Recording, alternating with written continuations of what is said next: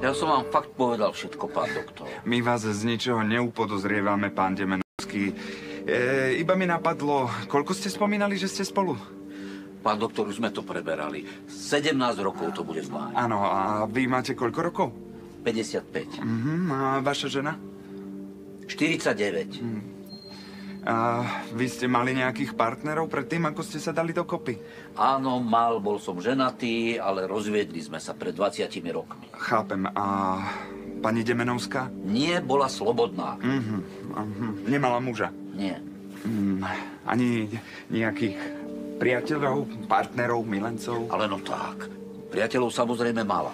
A nie je možné, že nejaký z týchto priateľov ju fyzicky alebo psychicky týral?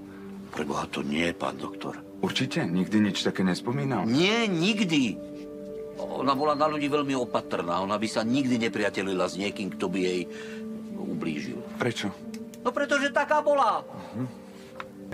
Žiadne domáce násilie ani traumy. Nie, nikdy nič nespomínala. Prepáčte, pán doktor. A čo jej rodičia? Rodičia? Áno, žijú? No, samozrejme, že žijú. To je tu ich chorvátsky koreň. Chorvátsky? Áno, žijú vo Vukovare. Aha, takže pani Demenovská je Chorvátka. Napol chorvátka, napol bosniačka. Takže vyrastala na Balkáne? Áno, na Balkáne a sem sa presťahovala pred 17 rokmi, keď sme sa brali. To vtedy žila tam? Áno. Aha. A hovoríte, že jej to začalo vtedy, keď ste si rozbili hlavu? Počkajte, kam ty mierite, pán doktor? Kam, kam ty mierite? No, možno mi niečo napadlo.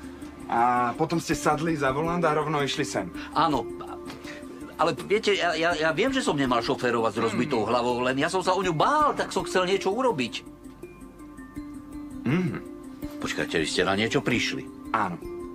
Musím zavolať doktorke Hauptmanovej. A e, ešte jedna vec, pán Demenovský, mohli by sme sa ísť pozrieť do vašeho auta?